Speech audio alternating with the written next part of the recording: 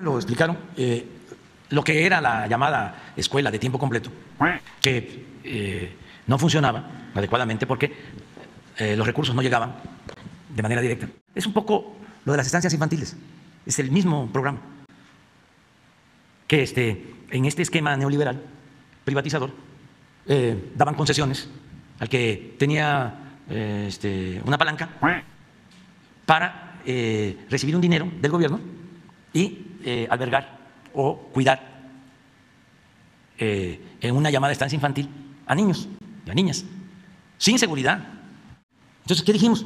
Le vamos a entregar a las madres los apoyos y que ellas decidan qué hacer, directo. Y así lo hemos hecho. Pero los opositores nuestros, pues, que eran los que impulsaban esto, ¿sí? se inconformaron. Bueno, lo de la escuela de tiempo completo es parecido.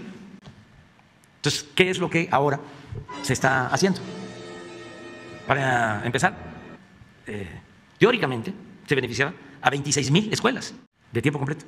Vamos a llegar este año a 105 a 110 mil planteles. Apúntele bien.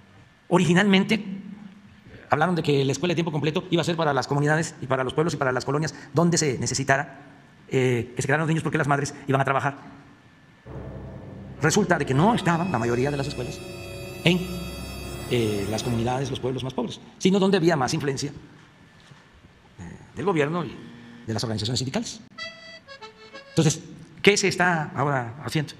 Ahora eh, se va a dar más recursos a las sociedades de madres y padres de familia y ellos van a decidir si quieren este, pagarle a los maestros y que ellos estén pendientes de que vayan los maestros más tiempo y lo mismo en el caso de los alimentos.